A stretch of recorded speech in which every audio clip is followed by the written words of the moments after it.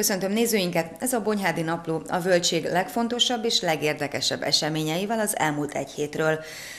Az emlékezés kötelesség, kötelesség a múlt iránt, de kötelesség a jövő iránt is. Bonyhádon ünnepi szentmisével kezdődött az 1956-os forradalom és szabadságharc 62. évfordulóján a megemlékezés. Hagyományosan a város vezetése ezen a napon adja át a Boros Dezső kitüntető díjat. Idén a Petőfi Sándor Evangélikus Gimnázium diákjai adtak műsort, majd az est leszálltával, fákjás menettel és gyertyagyújtással ért véget az ünnep. Kameránkkal végig követtük az eseményeket, idézzük vissza az 56-os hősök felé Bonyhád városának méltó tiszteletadását.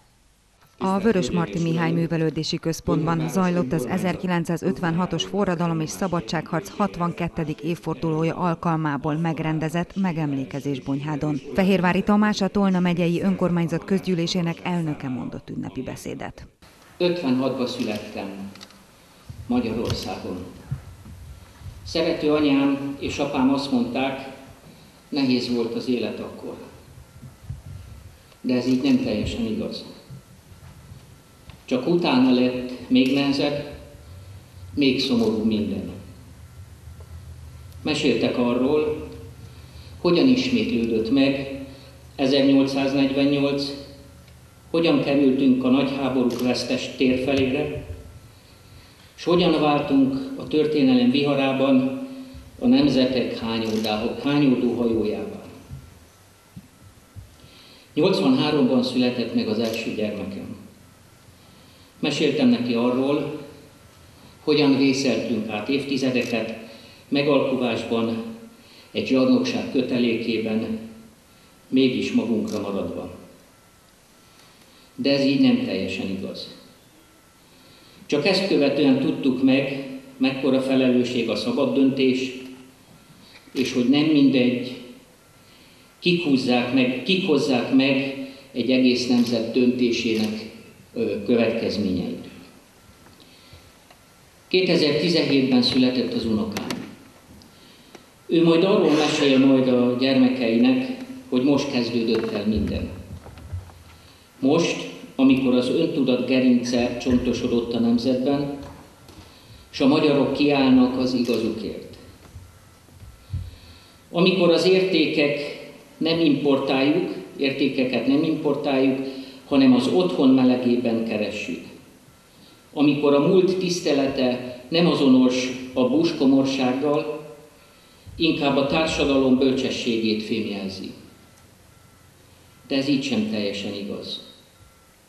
Csak most írjuk a történelmet közösen, és olyat, melyet a generációk büszkén mesélnek majd tovább gyermekeiknek.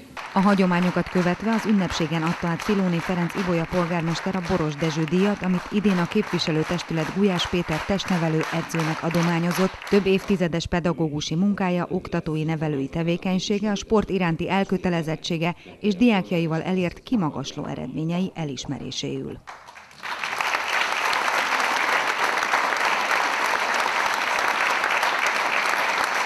Nehéz így megszólalnom, hogy senki sincsen piros trikó vagy úszósapka.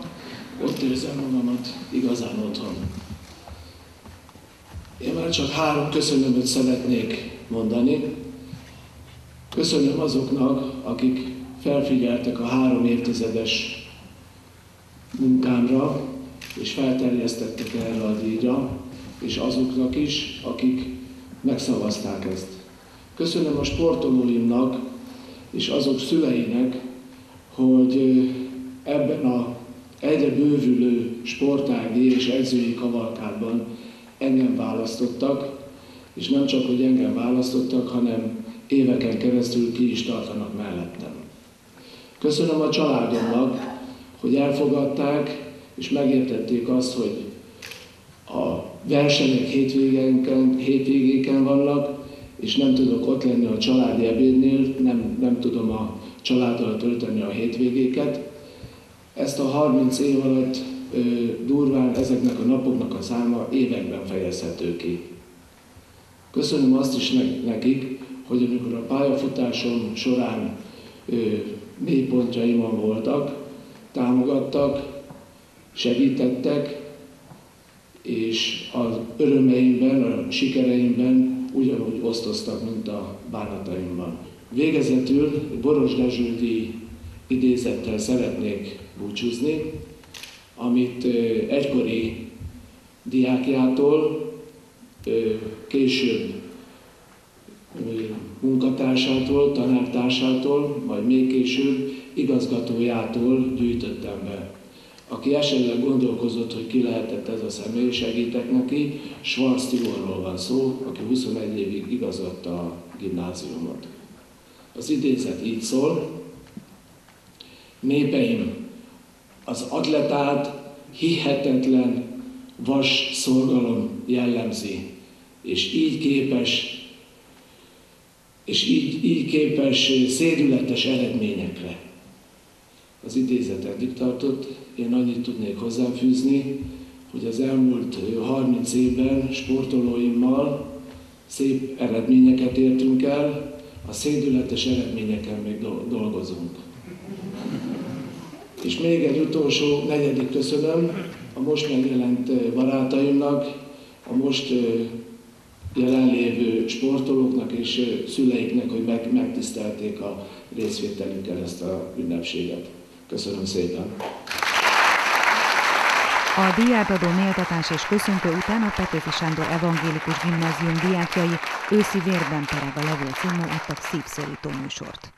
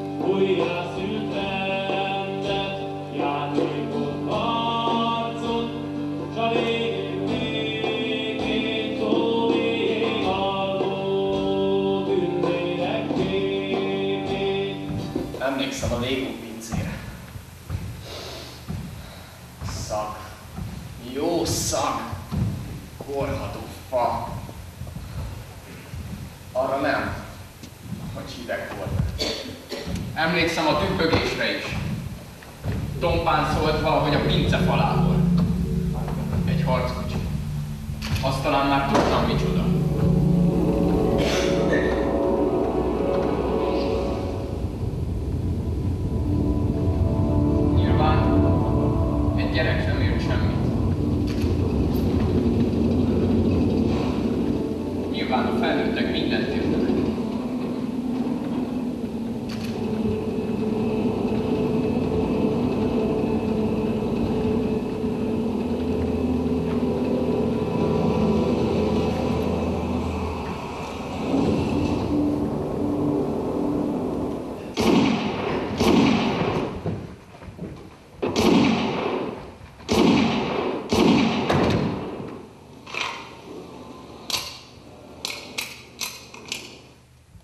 A megemlékezés fákjás felvonulással és az 56-os emlékhelyek megkoszorúzásával zárult.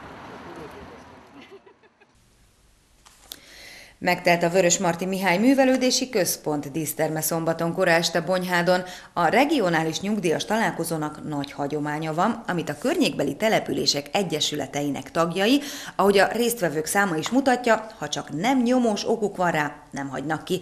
Stábunk szerencsésnek mondhatja magát, hogy egyesületi tagság hiány is meghívott kap- kapott az eseményre, mert ismét bebizonyosodott, van még mit tanulnunk az idősebb korosztálytól mulatás terén is.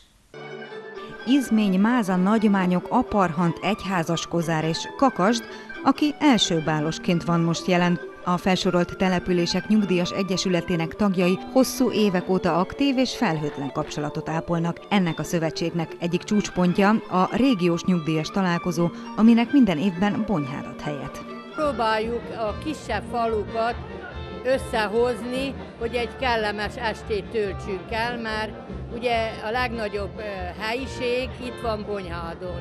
Őnáluk mindenhol kisebb klubszobák vannak, meg művelődési házak, és akkor évközben mindig ő megyünk, és akkor év végén meg itt van egy nagy találkozó. Mi az a csoport vagyunk, aki nagyon összetart, és szeretünk egymás társaságában lenni, szeretünk egy kicsikét táncolni, korunkhoz mérten. Orvosaink is azt mondták, hogy ez a legjobb forma, ha mi ta- táncolunk. Ez a Bonyhádi Klub több mint 30 éves. Először 16 évig egyfolytában csak Bonyhát tartotta, és ez egy ilyen regionális összejövetel volt, Baranya, Somogy és Tolna megye. És akkor az idők folyamán ugye mind, eregedünk ki mindenhogyan, fogy a társaság, és akkor átléptünk ebbe formába, hogy a környező falvakat hívjuk meg, és akkor a kis csoportokat, kis csoportból lesz a nagy csoport. És csak hogy egy elcsépelt, de nagyon is igaz mondással éljünk, ismét bebizonyosodott, hogy nem csak a 20 éveseké a világ. Nagy baj is volna, ha így volna. A Völgység Néptánc Egyesület kitett magáért a közel másfél száz ünneplő szórakoztatásában. Műsorukban a legkisebbektől a felnőtt csoporton át felvonultatták repertoárjuk legjavát.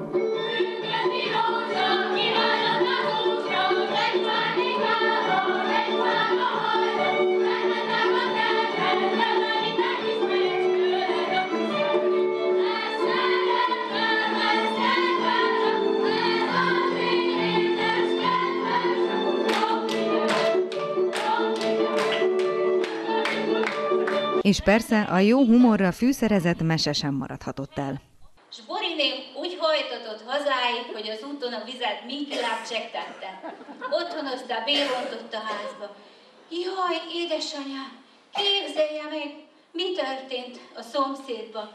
Azt mondja Trézsiném, hogy omborbám az éjjel megtojt hármot. És hogy mi a mese vége? Elég, ha annyit elárulunk, a trézsi sem plegykásabb a többi asszonynál. A számos kitüntetése rendelkező csoport után Filóné Ferenc Ibolya polgármester köszöntötte a jelenlévőket. Szívből örülök annak, hogy ez a rendezvény évre, évre egyre nagyobb népszerűségnek örvend, hiszen talán még soha nem voltak ilyen sokan, legalábbis én amióta köszöntöm Önöket, nem emlékszem, hogy ilyen sokan eljöttek volna erre a rendezvényre. Október van, október az idősek hónapja azt mondják, mit mondhat egy ilyen alkalommal egy polgármester, büszke vagyok és örülök neki, hogy a legkisebbektől az idősebbekig itt vagyunk itt együtt, és éljen a barátság, és akkor többet nem is kellene mondanom. Szegedi Gyuláné különleges ajándékkal viszonozta a kedves szavakat. Remegve nyújtjuk át, fogadja kérem tőlünk el, tiszteletünk zálogát. A köszöntők után és a vacsora előtt szinte azonnal benépesült a tánctér, és elkezdődött a buli.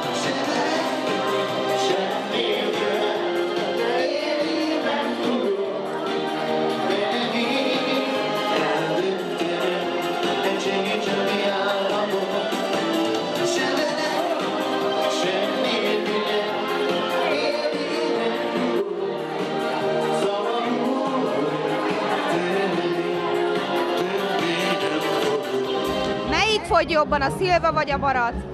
Nem tudom. De még nem ittunk. Elég jól fogy a pálinka. Hogy érzik magukat? Hát mi jól fogjuk. Jól. Sok szervezésért igényelt, gondolom a mai este. Hát igen, meg sokat dolgozunk. Sokat dolgozunk, de amikor megyünk vendégségbe, ugyanúgy minket is megvendégelnek. Negyedik éve itt vagyok, tehát ez egy csodálat. Akkor 23-an voltunk, most vagyunk 60-an. És nagyon-nagyon jó. Szóval jó az egész, olyan egybe vagyunk mindenki, nagyon jó. Rendszeresen gyűlésünk van, és mindig jövünk. Én még tényleg még soha nem is voltam. Az a helyzet, hogy férjem 7 éve, 8. éve meghalt, nagyon egyedül voltam. Ide jöttem, és azóta van életem.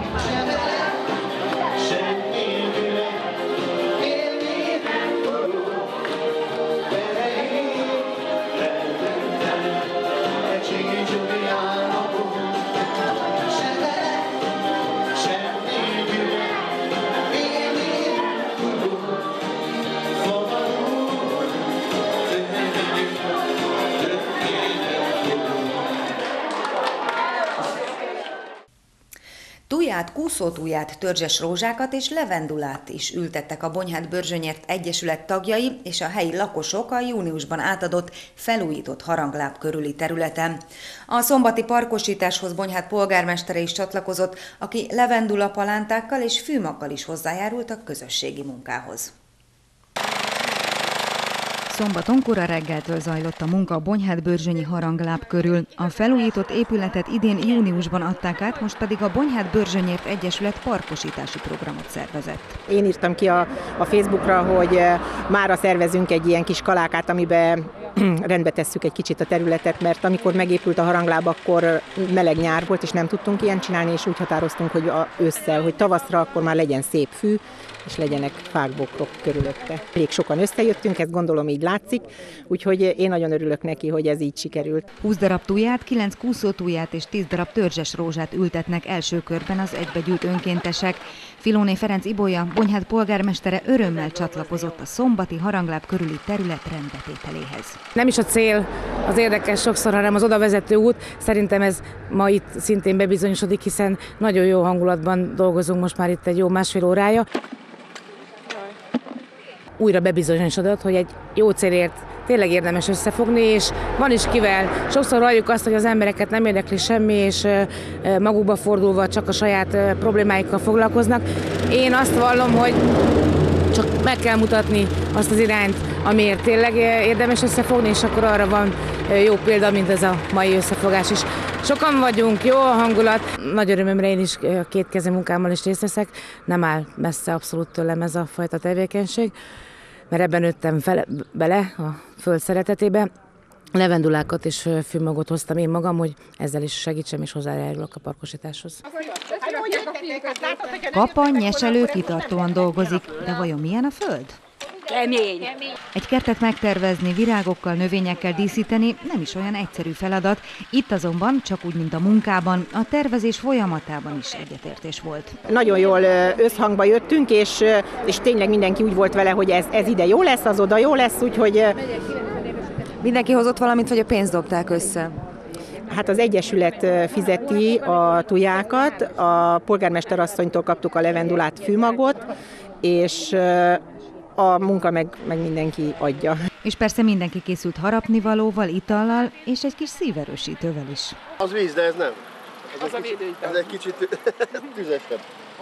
Szombaton a munka késő délutánig tartott. A parkosítás ezzel nem ért véget, a Bonyhát Börzsönyért Egyesület a jövőben is várja az önkéntes segítőket.